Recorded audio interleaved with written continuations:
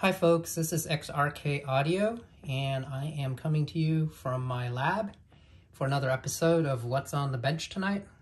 And tonight I'm going to be showing you a new power line conditioning filter product that I've been working on for the last couple of months.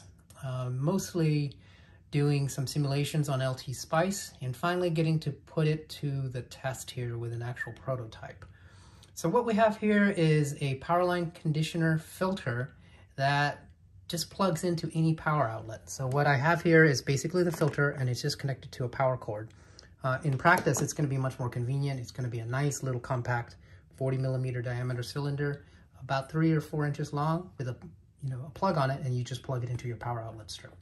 So how this works is it's, it's um, a series of parallel LRC filters that have been carefully tuned to allow a nice um, attenuation of switch mode power supply noises, which typically reside in the 100 to 400 kilohertz range.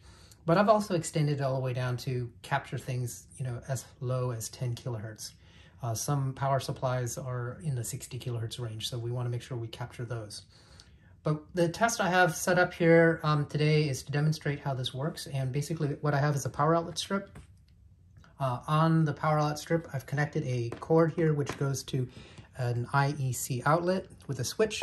And to that is connected some alligator clips to a one kilo ohm resistor, which is representing the source impedance of the offending noise source. And that is then connected to a function generator that I have here on my oscilloscope slash function generator. Um, the oscilloscope uh, itself is connected to this power cord. This is representing your sensitive audio device, you know, your headphone amplifier, your turntable preamp, whatever, you know, um, whatever it is you want to keep quiet from noise. So the oscilloscope probes are connected there.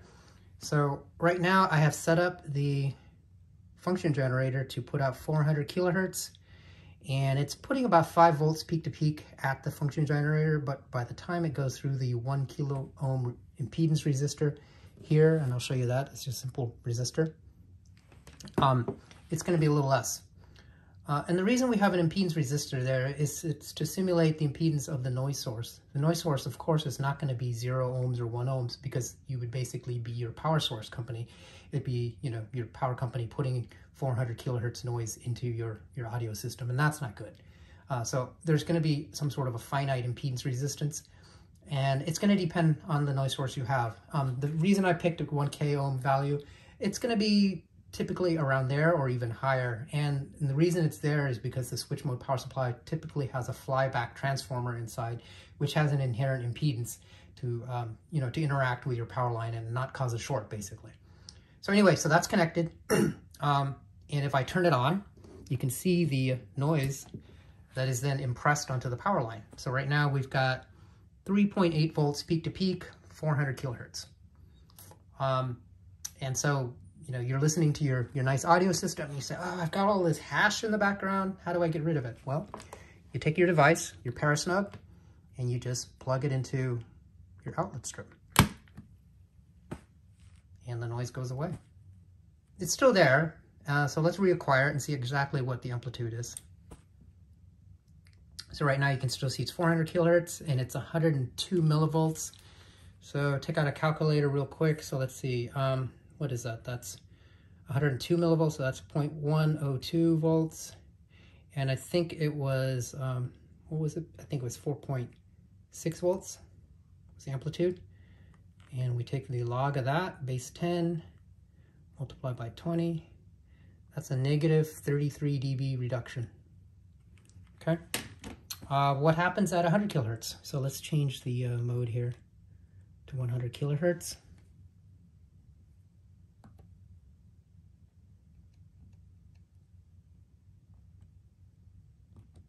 Okay, reacquire.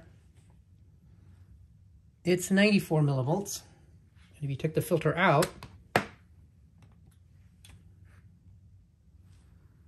it's 4.6 volts. I'm sorry, 4.84 volts. So we do the math again, 94 millivolts, 4.84 volts, log of that, 20, that's negative 30 dBs. So it's doing pretty good at 100 kilohertz. I know of a lot of switch mode power supplies that are 100 kilohertz. And if you can you can knock it down by 30 dB, you know, you're, you're doing yourself a huge favor uh, by not having to listen to that noise. So yeah, let's, let's plug it in. Bam, it goes away. Right? Um, let's go all the way down to, let's say 60 kilohertz. Let's see what happens here. Um, they're obviously not going to make a switch mode power supply that's at 10 kilohertz, but um, we will, at least not anyone who's knows what they're doing. All right, so we're going to go down to about 60 kilohertz here. And um, they will think that that's enough in the ultrasonic range that you're not going to hear it, and you probably won't. Um, stick the filter out. We're at 4.92 volts. Put the filter in. Reacquire. 90 millivolts. So we're at 90 millivolts, 92, I'm sorry. 94 now. 94, 4.92 divide. Take the log of that. 20 times, that's negative 34 dB. So yeah, it's, you know, it's working really well. Um, and I, I think that you will notice some improvement if you are hearing switch mode power supply noises in your power line. You know, here's your fending device. You turn it off, turn it on. Um, if you didn't have your filter, this is what your your you know device would be seeing. I'm I'm not sure if you're going to get you know five volts of noise in your line, but you may. Uh, you may get more, and you get more. You know that's that can really affect your audio quality. So you plug in the filter, and bam. So there you have it. Um, I will um, work with my team on putting this into a nice product that's uh, really slick and usable and compact. And, uh, you know, I, I, think we will, uh, we, we will get this out to market pretty soon and hopefully you guys can start enjoying it and uh, reducing the noise in your audio systems. Um, thanks for watching.